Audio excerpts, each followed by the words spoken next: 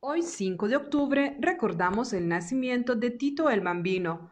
Nació un 5 de octubre de 1981. Efraín David Fines Nevares, más conocido como Tito el Bambino, es un cantante y compositor puertorriqueño de reggaetón y música latina.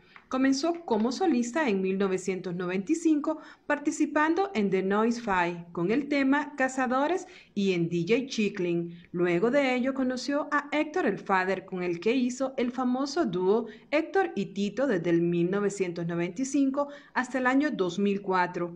El dúo inició su carrera musical en los años 90 con el nombre de Los Bambinos. En aquella época colaboraron con otros artistas de reggaetón, publicaron varios álbumes con los que obtuvieron reconocimiento del público en América. En el año 2006, Tito el Bambino lanzó su primer disco de reggaetón como solista llamado Top of the Line, en el que también participaron otros cantantes de reggaetón como Don Omar, Daddy Yankee, entre otros, y escaló al número uno en Puerto Rico. El éxito que tuvo Top of the Line lo llevó a lanzar una segunda edición para el año 2007 llamada Top of the Line El Internacional, con cinco canciones inéditas que no estaban incluidas en Top of the Line, como el hit de reggaetón Siente el Boom.